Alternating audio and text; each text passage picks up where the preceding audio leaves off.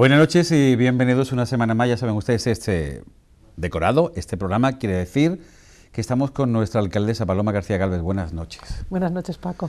Pues una semana más y una semana menos. Es una forma de empezar, porque en cuestión de segundo quiere hacer un balance de las cosas que ha hecho y ya empezar a pensar, empezar a pensar en lo que va a hacer. ¿A usted le ocurre eso?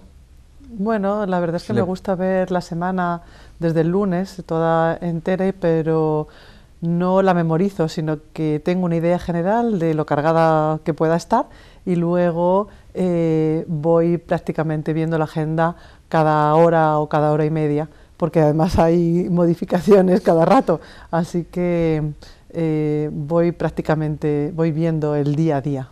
Se me ocurrió empezar el programa así, de verdad, pues preguntándole eso. Me parece estupendo. Me parece algo tan cotidiano. Yo, eh, cuando las legislaturas esto de los ayuntamientos, los gobiernos, eh, sabemos que, bueno, pues más que las legislaturas, los ejercicios, ¿no? Cuando empieza un año y cuando acaba otro, pues sabemos que lo normal es enero y diciembre. Pero en esto de la actividad municipal, creo yo, le pregunto a usted, que es cuando ya se tiene ese documento contable que dice, tenemos lo que queremos hacer y sabemos cuánto nos vamos a gastar en lo que queremos hacer. Me refiero a los presupuestos. Una vez que ya se aprueba, estamos en aprobación inicial, pero ya no le da usted como, sobre todo por la despedida y agradecimiento que dio usted al final del pleno, yo, o al menos lo percibí, que pues está equivocado, que lo más probable, como una especie de alivio, ¿no? decir, bueno, pues ya arrancamos sabiendo dónde tenemos que apretar los dedos. No sé si me vale la expresión. Sí, este año hemos tardado un poquito más en aprobar inicialmente los presupuestos. Ha habido que cambiar algunas cosas de base y hemos tenido que trabajar y estudiar profundamente eh, cómo hacerlo para hacerlo bien y de la mejor manera posible.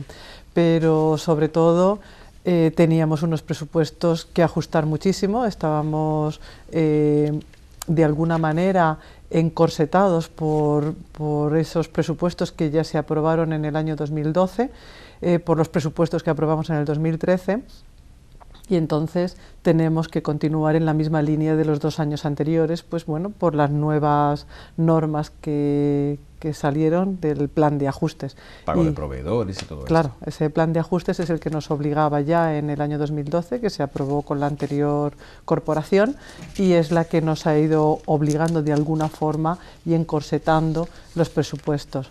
Y es cierto que tenía que dar las gracias a todos mis compañeros de equipo de gobierno porque eh, han hecho un esfuerzo muy importante.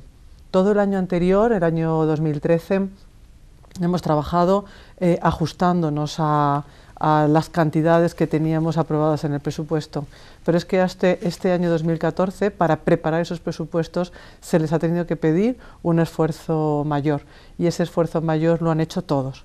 Eh, mi compañero de la Delegación de Hacienda, de, de la Concejalía de Hacienda, José Miguel Muriel, ha trabajado para poder satisfacer los mm, requerimientos del resto de los compañeros, pero ellos la verdad es que todos han sido muy comedidos, muy comedidos y han sido conscientes de la situación en la que, en la que nos encontramos. Y hemos trabajado todos, sobre todo, teniendo en cuenta, teniendo en cuenta dos aspectos muy, muy importantes. Uno es la situación de las personas que tienen menos recursos, que están en una situación más desfavorecida o peor económicamente hablando. Eh, los presupuestos ahí en esa materia hemos sido lo más estrictos posibles para evitar cualquier reducción, de manera que los hemos eh, mantenido en el área de asuntos sociales. Y el otro aspecto importantísimo que es la inversión dirigida hacia, hacia el empleo. Así que en esos dos aspectos es en los que nos hemos fijado para preparar los presupuestos. Y por supuesto hemos procurado eh, ajustar todos los eventos y todas las actividades, tanto de festejos, que son también vienen a coincidir en muchos de ellos con cultura y con educación, eh, con mucho menos presupuesto. No hemos escatimado en cantidad de eventos ni en la calidad de los eventos, pero sí en, las partidas presupuestarias. Y lo mismo en comercio. Estamos trabajando eh, la concejala de Comercio y de Participación Ciudadana lo que hace es reinventarse cada vez y hay que agradecer su esfuerzo, así como el de los comerciantes, por supuesto, que siempre están dispuestos a apoyar todas las iniciativas que desde el área de comercio se, se practican, se ponen en práctica y se impulsan. Así que ya te digo que las dos ideas fundamentales o las dos bases del presupuesto han sido la inversión para el empleo y, la, y ayudar, seguir ayudando a los más desfavorecidos. Eh, 3 millones de inversión. Eh, bueno, se ha aumentado con relación al pasado año. Pasa que, claro, eh, cuando se hablan de 105 millones de presupuesto, mm. pues mm, resulta que decir 3 eh, millones suena como muy poco, que 3 millones ya es un montón de dinero, cuidado, ¿eh? Pero claro, cuando hablamos de esas cifras tan mastodónticas, tan grandes, ¿no? Nos perdemos un poco. Quiero decir esto porque el, el, el, porque se ha doblado, creo, si no me, me, me la memoria, usted me corrige, esa inversión que, bueno, pues puede ser para trabajos que hay que hacer y que efectivamente, una vez que se arrastren, se consigue y se genera empleo. Y aunque parezca una cantidad muy pequeña, que no lo es, en proporción con los 105 sí, ¿no? Una cifra, pero es un gran esfuerzo y todo esto invita a pensar eh, bueno, que parece todo como un trabajo de chinos, ¿no? De ajustar mucho, el estar encorsetados. Eh, lo que sí ha quedado muy claro es que el señor Muriel es una apuesta decidida de Paloma García Galvez. Y este hombre es muy joven todavía. Sí, bueno, pues fíjate cuánto potencial tiene. Por eso le digo que... sí. Eh, lo de la, inversión, me, incidir en eso un poco, ¿no? que aunque parezca poco, pero... No, hombre, verás, eh, todas las cosas hay que verlas en su, en su justa medida. Efectivamente, lo que yo... Eh, el ayuntamiento como, como corporación, como institución, como ente, es ya una maquinaria muy grande que hay que, que hay que mantener y entonces en lo que son gastos corrientes y gastos financieros, pues sube muchísimo el presupuesto de gasto, pero eh, hemos apostado decididamente por esa, por esa inversión. ¿eh? Y, esa, y yo creo que esos 3 millones de euros nos van a dar para, para trabajar en todos los proyectos que queremos sacar adelante en, este año 2014. Además, también estamos convencidos de que el sistema económico va a mejorar, va a, mejorar, va a notarse mucho más la mejoría. Lo ha usted en el Pleno. Sí, en este, en este último, o sea, en este año se va a notar más que en el 2013. De hecho, ya sabes que lo que se refiere a la venta de viviendas y a las transmisiones se está moviendo ya, ya nos dicen los notarios que que hay más movimiento, En, sus oficinas. De hecho, hay una partida presupuestaria que es la que viene recogida en, en los ingresos por plusvalías, que ya el año pasado notó un incremento. Eso significa que ha habido transmisiones patrimoniales, que ha habido compra-venta de inmuebles. Eso se ha incentivado a través del catastro, es decir, que tampoco es de casualidad. No, no, claro, o sea, son todos los trabajos y todas las gestiones que se están realizando a lo largo del año que van ahora a, a ver sus frutos mejorados con respecto al año pasado, eh, pero que además es que también supone que la economía se está, se está moviendo, que hay ya más venta de pisos y hay más gente que, que, compra y más gente que vende y por lo tanto pues que se producen más ingresos para el ayuntamiento. Y es cierto que hemos trabajado muchísimo en el en el ámbito de lo que es el valor patrimonial, lo que son los inmuebles, porque hemos conseguido que el valor catastral bajara un 15% este año. Y todo lo que ha acarreado y también tiene su consecuencia lo, bueno pues los presupuestos. Otro dato que a mí me llama mucho la atención es mm, donde el concejal eh, bueno pues incidía en ese préstamo que se pide para garantizar las nóminas que se ha bajado importante de una manera importante y que bueno que ya están ustedes en unas cifras que hace que no tengan que ir rogando a los bancos, sino que los bancos han visto que son solventes y entonces pues ya cambia un poco ¿no? el ofrecer al demandar. La verdad es que es un orgullo, es un orgullo que mi compañero haya sido capaz de rebajar eh, esas, esos préstamos que pedíamos a los bancos para garantizar las, nóminas, nóminas, Sí, de los 16 primeros millones a los 8 que se están pidiendo actualmente y que de hecho a las alturas que estamos de año, todavía no lo hemos tenido que pedir porque el ayuntamiento ha sido, está siendo autosuficiente para abonar las nóminas. eh, durante los tres o cuatro primeros meses del año no se producen ingresos directos en el ayuntamiento porque todo el sistema impositivo empieza a partir del mes de mayo, abril, finales de abril y mayo, entonces eh, siempre se pedía esa póliza para garantizar esos primeros cuatro meses, pero en esta ocasión todavía no ha hecho falta pero estoy, la verdad que estoy muy contenta y muy orgullosa del trabajo que está realizando mi compañero José Miguel Muriel. Yo lo acabo usted de decir, sino, porque creo que es, lo que estamos viviendo en el día. En el tema de asuntos sociales, decía su compañero Francisco Salido, bueno, que se había presupuestado un dinero que no había que utilizar, pero en cualquier caso está ahí este dinero para actuar en caso de emergencias. es un, bueno, hay una, una partida presupuestaria que es, que es nueva este año, que es para, para situaciones de emergencia, que son 500.000 euros. Que lo reciben un poco, si me permite, alcaldesa, con el tema de las ayudas sociales, porque realmente va aparejado, ¿no? Bueno, nos obliga la ley a tener prevista esa cantidad para emergencias y evidentemente, para el caso de que sea necesario utilizarla para asuntos sociales, pues se utilizará para asuntos sociales. Pero mm, tengo que decirte que los presupuestos que se han aprobado inicialmente son unos presupuestos reales.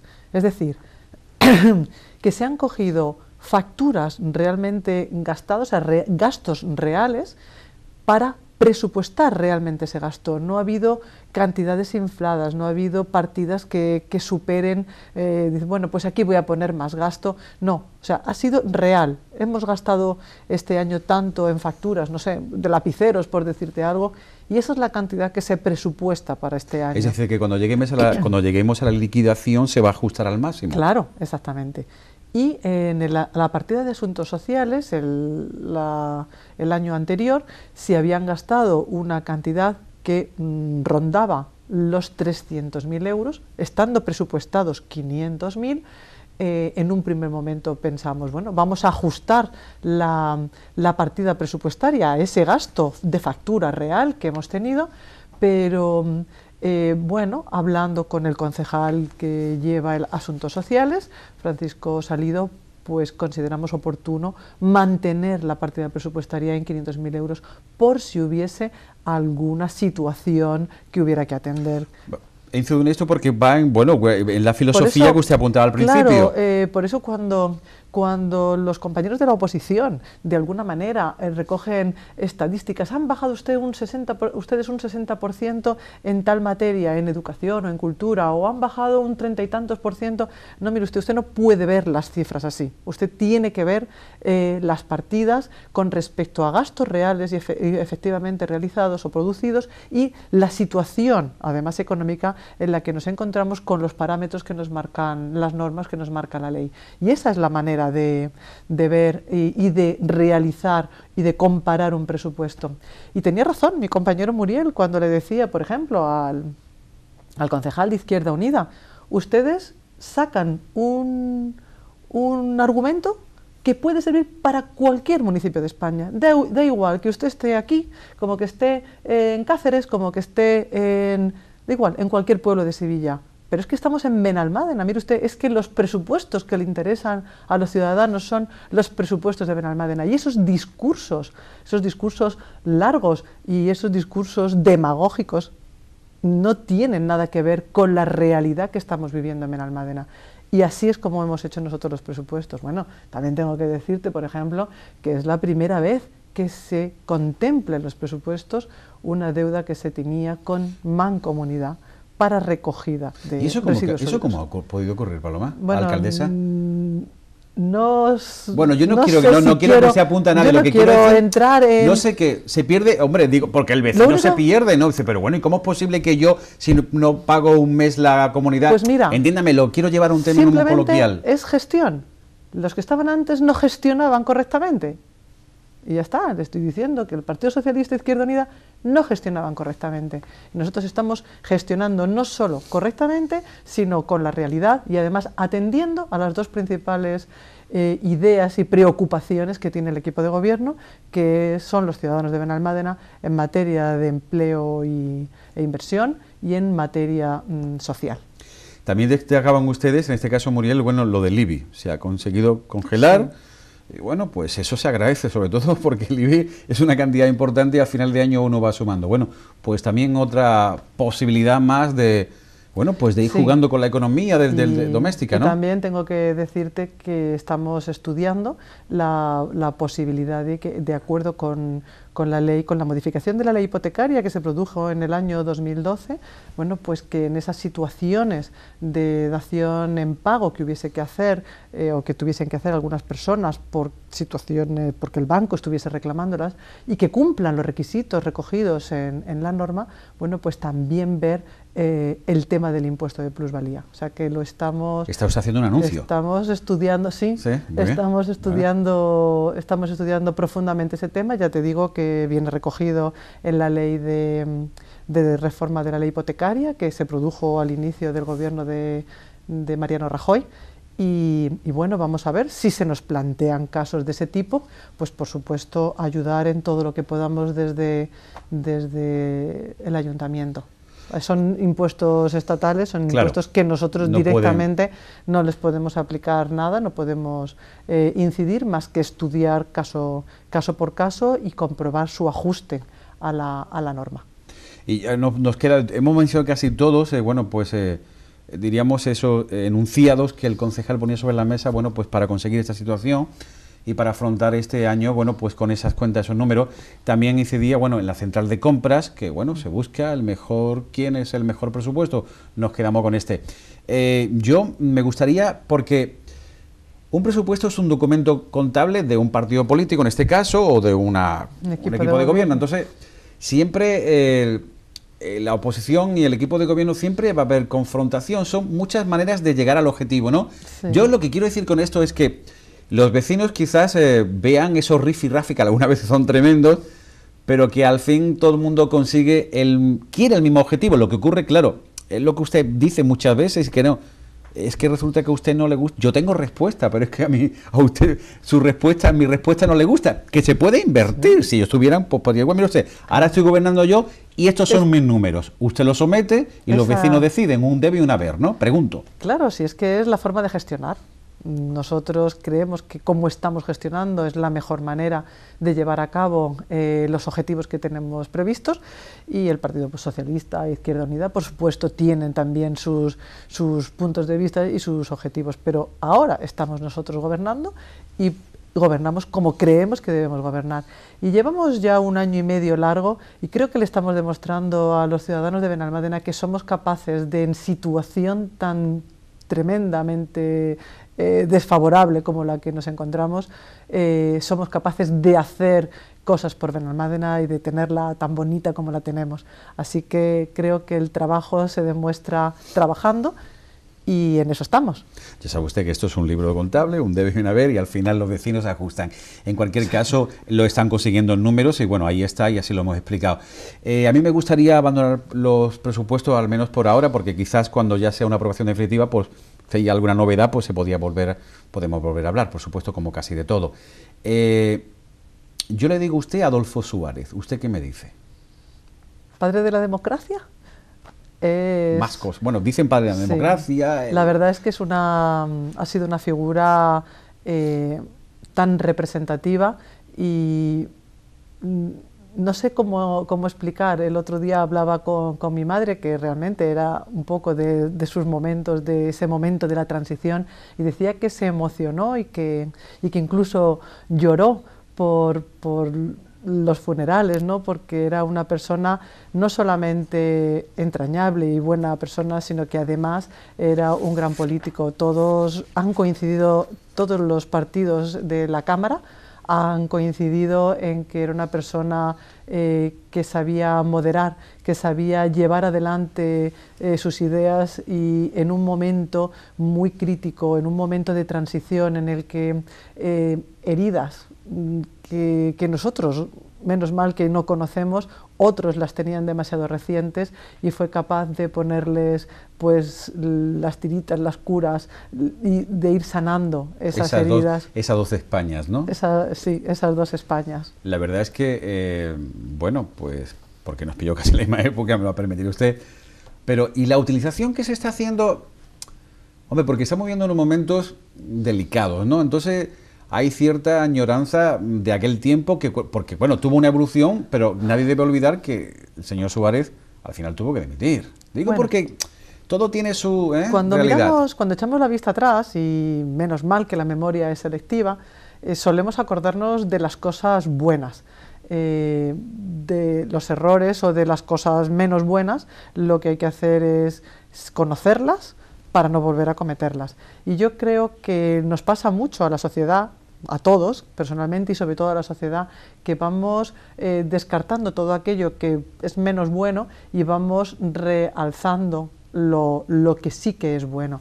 Pero es que yo creo que eh, está muy bien que podamos hacer eso y está muy bien que conozcamos y que sepamos que Adolfo Suárez fue esa figura que supo aglutinar eh, una España de derechas mm, eh, y una España de izquierdas, que fue el que aprobó y permitió que el Partido Comunista fuese legal en España.